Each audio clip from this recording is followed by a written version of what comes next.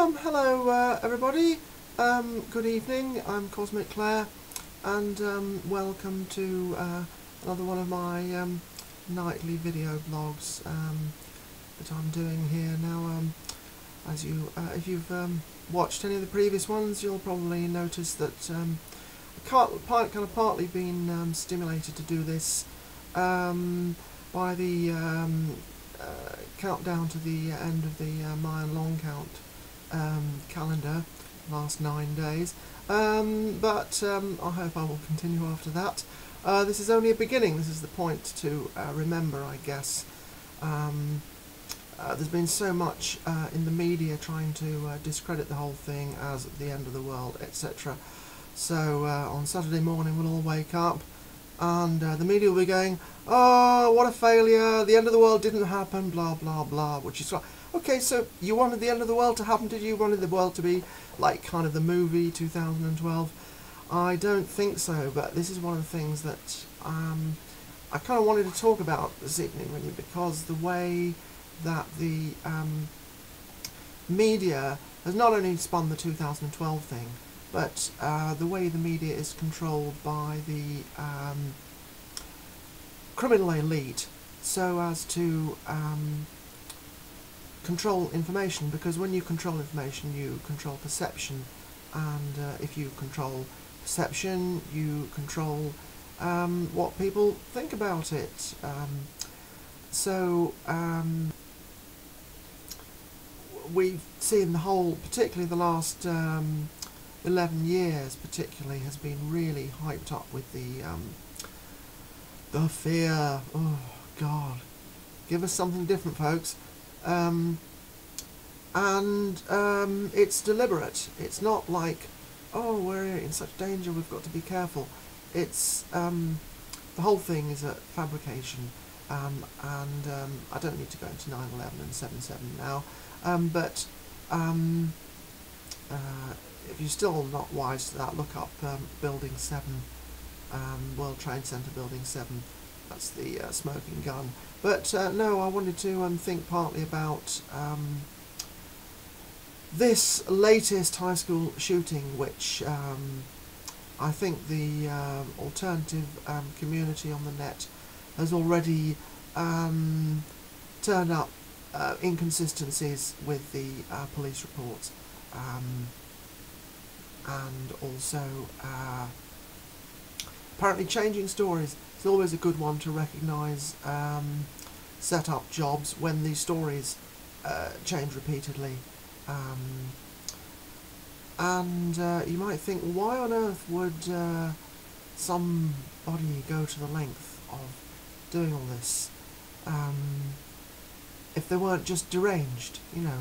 And um, well, uh, I'm sure the kid was in his own way deranged, but um, almost certainly through being um, manipulated and controlled and influenced, um, so that, um, well, there's the gun law thing um, that people have different opinions about, um, but uh, probably the uh, bigger agenda is just generally making everybody afraid. You know, be afraid, be afraid, be afraid. Uh, that person's got a gun, and um, they're going to kill you. Well, you know, uh, if the military are the only people with guns, then that's got it probably even a bigger problem, isn't it? Really. But the thing is, um, this whole thing it goes into many different uh, dimensions with fear, but um, the whole thing's about being afraid of everybody else, being afraid of your neighbour, being afraid of um, people you don't know, being afraid of uh, strangers, being afraid of everybody.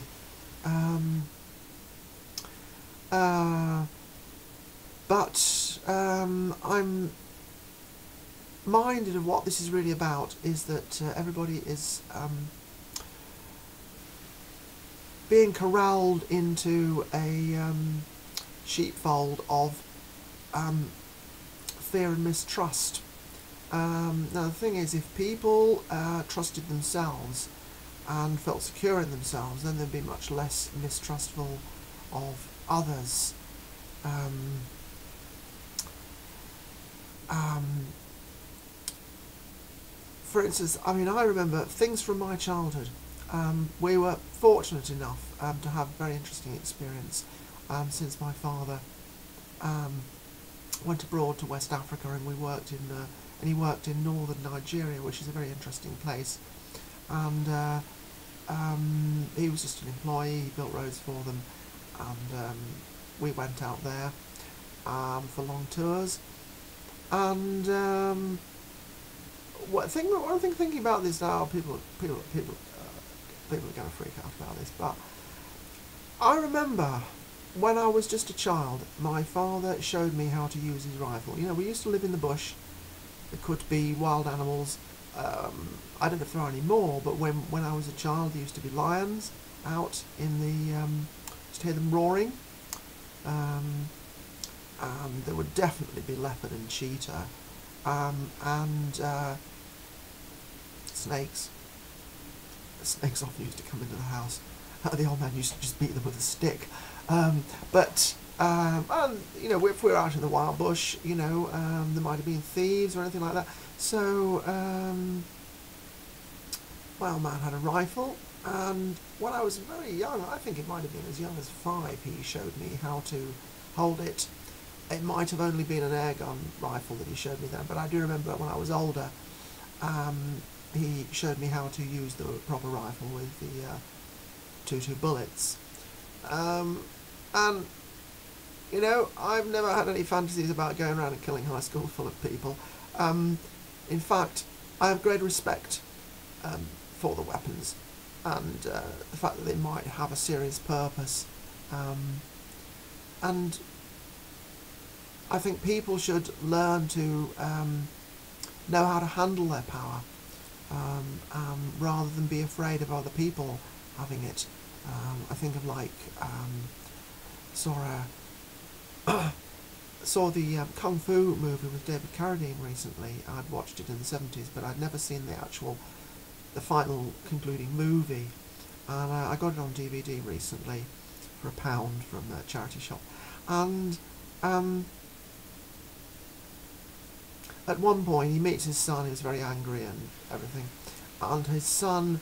Uh, they're kind of standing in this confrontational situation, and the son is standing there with a big um, loading hook, hook from a warehouse, holding it up, and um, Caine just stand there, and he puts his hands behind his back, and it's a sheer um, battle of willpowers because um, even though the son has the advantage with holding this gigantic, great big loading hook, and Kwai Caine is standing there with his hands behind his back, um, the son knows that even if he so much as twitches, that uh, Kwai Chang Caine uh, will have him on the ground in a second, um, because he is his superior. He has greater strength and power, and um, a greater spirit. Um, and uh, people should learn to be empowered.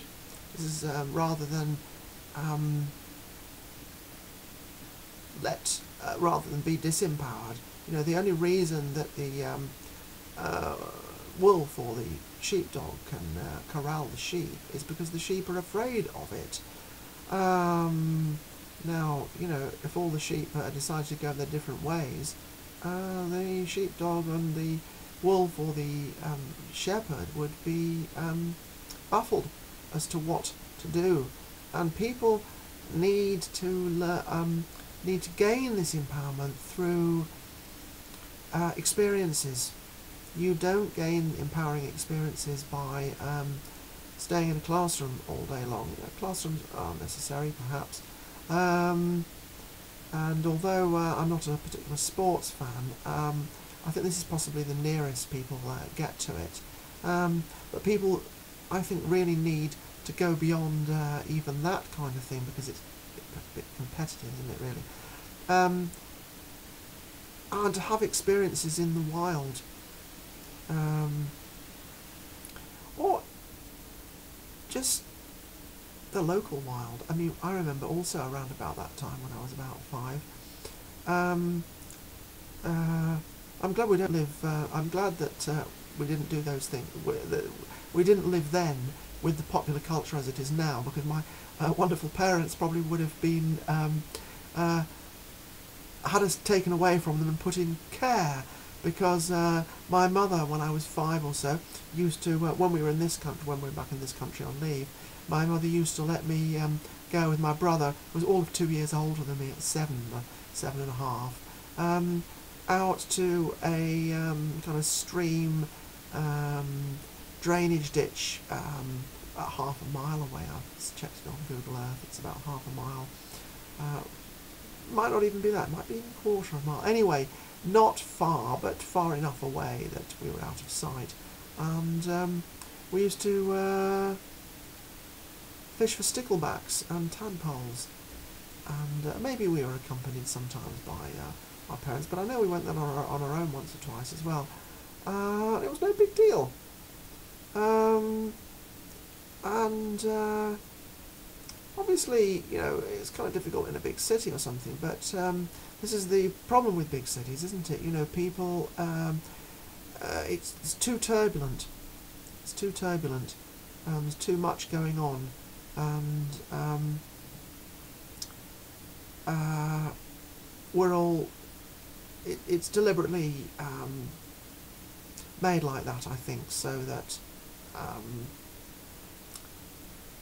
society is uh, too constantly fluctuating for um, uh, the kind of stability um, to be there that we need for children to um, learn strength and responsibility um, in being able to go to woods and stuff um, and uh, play on their own. You know, this kind of thing is frowned upon these days for children. You know, it's got to be like all you know, organised with an adult and all that kind of thing. Um, um, yet I think we need to discover, rediscover our wildness. You know, we are like trained animals in a circus. You know. Um, afraid of what the ringmaster will do, uh, afraid of what the um, shepherd will um, do if we uh, don't um, go along with it. And um, fear drains the uh, individuality uh, into um, nothing, a loss of identity. Um, and all these things that uh, society arranges around us, a lot of them are geared to um, trying to make us afraid, and um, we need to uh, step beyond that. Um, have uh, give ourselves empowering experiences. Go off into the um, wild, rediscover our uh,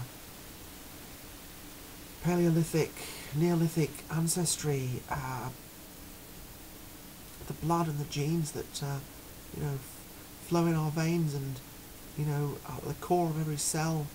Um, not this uh, pale imitation um, where people wear suits and ties and uh, have to uh, conform to everything because they're afraid of the consequences. Not just consequences economically. Uh, I mean, those are kind of, you know, real serious threats that people have to live with. Uh, so it's difficult to find a way to challenge those, perhaps. Um, but socially, you know, um, people are coerced by social disapproval. Um, one of the most awful things I've heard this year. Um, about six months ago, somebody said to me, everybody should be the same. Um, now, this is not the same as saying everybody has equal rights, everybody has equal um, human value, but in their lives, everybody should be the same. Isn't that really quite sad? And it's because um, people are insecure and they have a lack of their own identity, um, so they want to put down other people who are um, perhaps uh, learning to have a uh, greater expression of um, who they are. and not giving into um, social control and ah, conformity. Um, the consumer culture encourages that, and um, social groups can be like that, or they can um, encourage people um, to become more than uh, they started out as, more than just their culture gave them, something they can discover within themselves. Um, and this is the um, this is the way uh, we will overthrow the control system from within, within ourselves, uh, our own individuality. Um, and some people will have great roles within that. They will find it within themselves to uh, challenge uh, Goliaths. And uh, I'm thinking of an old Bob Dylan quote, you know. Um, and these Goliaths are crueler by far than Goliath of old. Um, so uh, let's all see ourselves like um, David, and uh, although perhaps I'm, I should be careful here because uh, uh, the Israelites had dubious claim to the land that Goliath was defending, but that's a different metaphor, so we'll leave that one out for the time being. Um, but just you know, um, perhaps I should say that use the Jack the Giant Killer. Well, that's another dodgy one, isn't it? Jack went up beanstalk and uh, tried to kill, steal the giant's um, stuff. But, uh, well, I'm sure there's a metaphor out there somewhere which doesn't involve um, uh, dubious relations. Um, it's just really important to think that um, the people um, who we are up against, they are actually afraid. They're actually more afraid than we are. They're just hiding it better. Um, and, well, we have to face our fears and overcome them. And uh, that way we learn courage.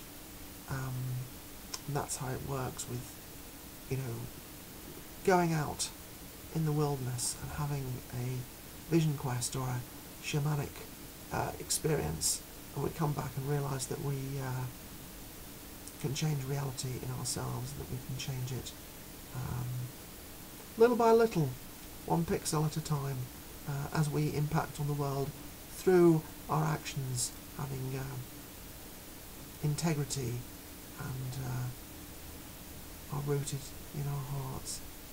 Uh, okay, well, um, thank you very much uh, for listening, um, and I'll just say uh, in Lak'ech, good evening.